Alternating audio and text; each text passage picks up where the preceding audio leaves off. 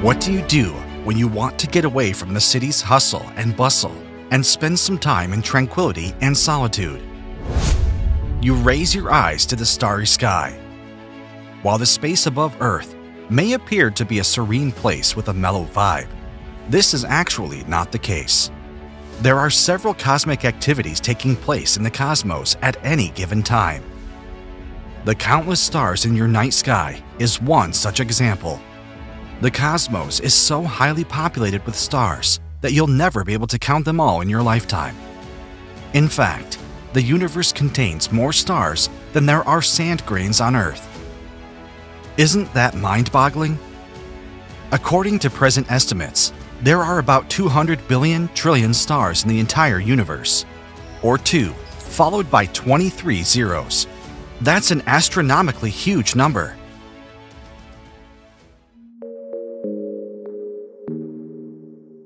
According to NASA, a star is an astronomical object comprising a luminous spheroid of plasma held together by its gravity. As the most essential components of galaxies, stars are the most well known astronomical objects. A galaxy's history, dynamics, and development may be traced by the age, distribution, and composition of its stars. Additionally, stars produce and distribute heavy elements like carbon, nitrogen, and oxygen. And their features are closely related to those of any planetary systems that may form around them. As a result, the core of astronomy is the study of the birth, evolution, and demise of stars. And scientists want to study just exactly that. With new highly advanced and expensive telescopes at their disposal, NASA scientists believe that they can finally see the birth of a star for the first time. What are the scientists really going to see? How will the discovery affect you? Join us as we prepare to see the starbirth in high definition.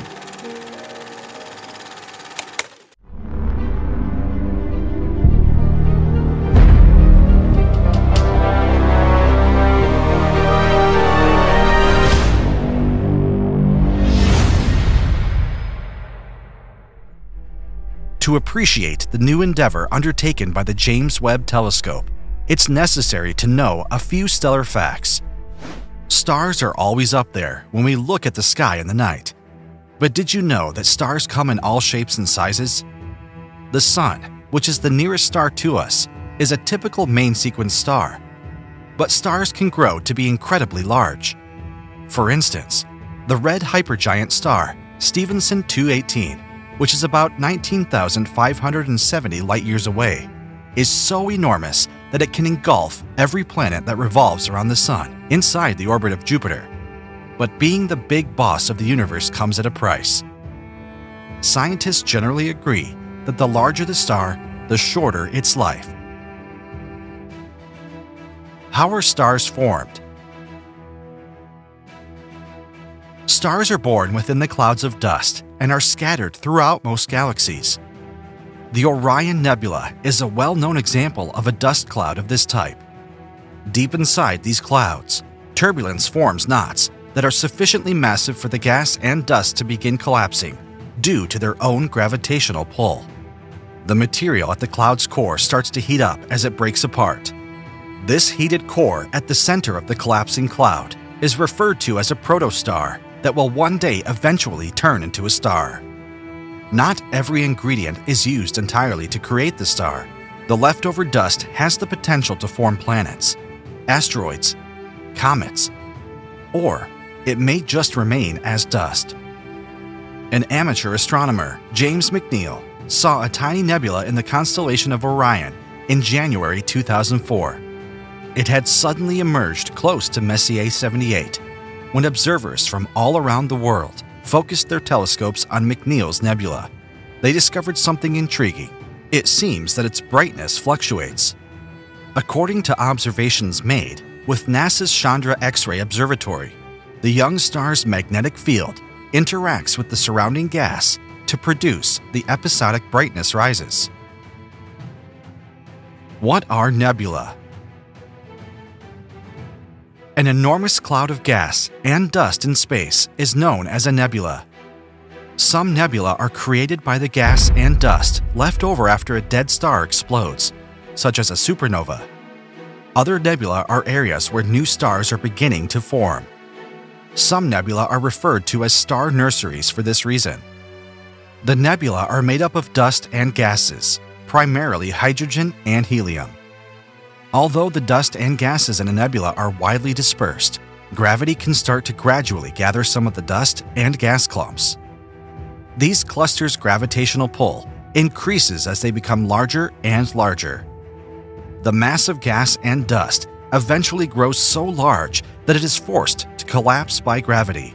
The material in the cloud's core heats up as a result of the collapse, and this hot core is the beginning of a star.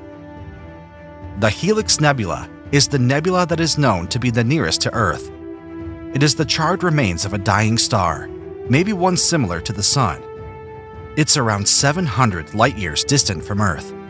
That means that it would still take 700 years for you to arrive there, even if you could travel at the speed of light.